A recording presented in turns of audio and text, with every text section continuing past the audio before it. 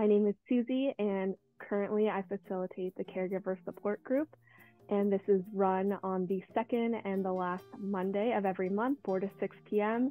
And what this group consists of is there are a group of caregivers for cancer patients, and it's typically a wide range of ages, genders, different people. And what we do is we discuss very relevant topics to what they may be facing.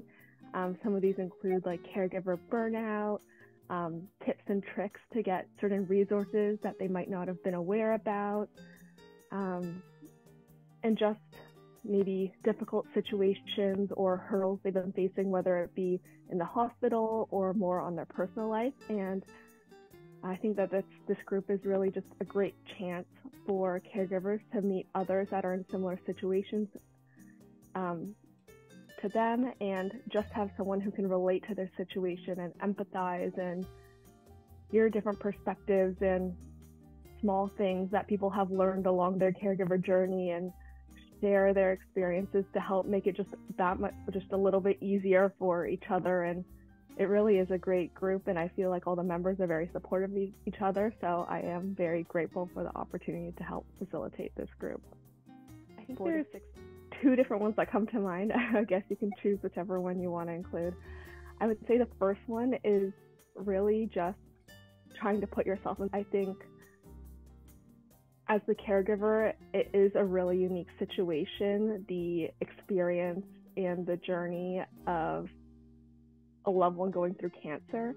And I think that this group is really good at bringing up other perspectives, maybe of the cancer patient or another family member that's helping you, and just kind of helping each other reflect on the emotions that someone might be feeling or why they may have acted a certain way. And I feel like being able to reflect on these situations and react very empathetically is just something that caregivers do on a regular basis. And it really just helps them strengthen that skill and improve their relationships with their loved ones.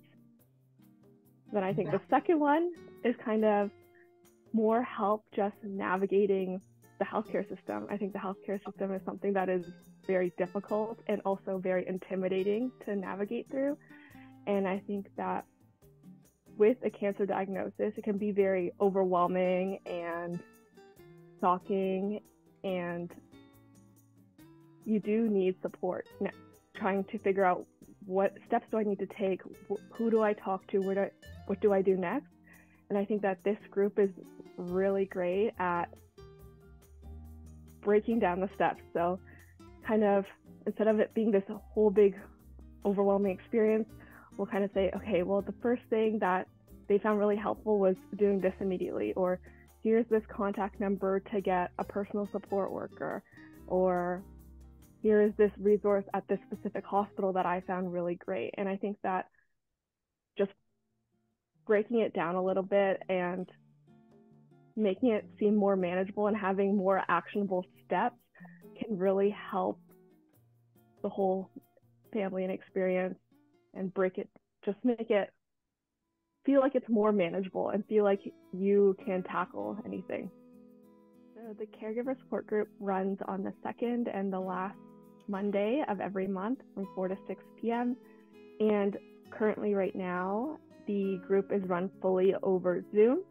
And it has the online format because a lot of these caregivers are from different places around southwestern Ontario. We even have some that are near Kingston area. And a lot of the time as caregivers, they're often using any spare time they have to try to run errands or keep track of appointments or medications. And we just found that keeping the online method was the best for the flexibility for people to join. We've even had people pull over on the side of the road to take the call because they were excited to join. Um, but yeah, it just provides some flexibility when the schedules get busy. I think for me, my my first experience with cancer and a really close one was my grandma. Um, she had breast cancer and then it later spread and she unfortunately passed away when I was younger. And this was something that was very upsetting, and I saw the burden it had on my family and trying to help take care of her and just emotionally the toll. And I think that that's really what got me wanting to start volunteering and helping out with those um, that are also going through similar experiences. So I went to the University of Waterloo, and so I've been very close to the Kitchener Waterloo region. And one of my close friends actually was volunteering at Hope Spring, and she mentioned that she thought I would really like it there. and so she kind of referred me, and I started at Hope Spring seven years ago, helping more with the administration side and volunteering at the clinic in person. And even though I'm not in Waterloo right now, I do really like everything that HopeSpring stands for. And I'm happy that I'm still given the opportunity to be able to contribute, even though I no longer live in Waterloo. I think one of the things that intrigued me was the fact that it's a very longitudinal group. And so I really get to build long lasting relationships with a lot of the members and we do have a lot of regulars that come every week or every other week or as much as they can. And I really think it is so special to be able to hear biweekly updates and hear how their life is progressing and be there for them, whether it be good news or bad news, and um, just kind of be able to be like a steady presence throughout their journey. It's something that I really value, and I think that I've really enjoyed with facilitating the caregiver support group. A typical support group will kind of start a little more casually. We'll kind of go around, give any quick or big updates that are going on with everyone's lives, um, especially for those who may have missed a few groups or a few sessions. There might be any big updates or that they would want to share.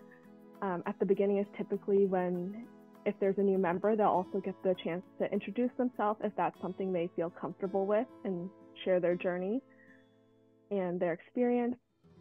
And then after that, we'll kind of sometimes the members will suggest or I will notice a certain theme that pops up and we will bring that up. Um, for example, I know one that we had recently, or one that we've had over the last year that is a recurring topic, was how to have conversations and deal with being a caregiver during the pandemic. And that was very challenging for some of the members, um, especially when people have different views or perspectives, and just trying to understand that and just try to navigate the healthcare system when it is very scary during the pandemic.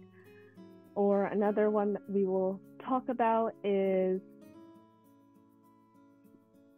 caregiver burnout. So we'll discuss how each person is what they're currently doing. So are they scheduling time with family and friends or are they going doing anything physical or what tips and tricks they're finding to help like relieve some stress or just relieve some of the duties or tasks that they have to do on a regular basis.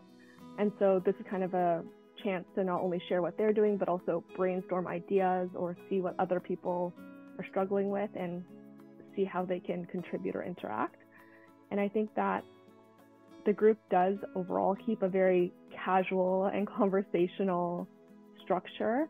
I think sometimes we'll bring it up like main topics as they come up, but I think that it is really important to make sure that everyone's having a chance to talk and share their experiences and make sure everyone feels heard and gets a chance to just share. And I think that's really the main purpose of the group. I would Perfect. say new members are always welcome to our caregiver support group. I think it is a really great opportunity. Um, all the members are very welcoming and will be there with open arms and excited to hear your story and wanting to help and discuss and chat as much as possible.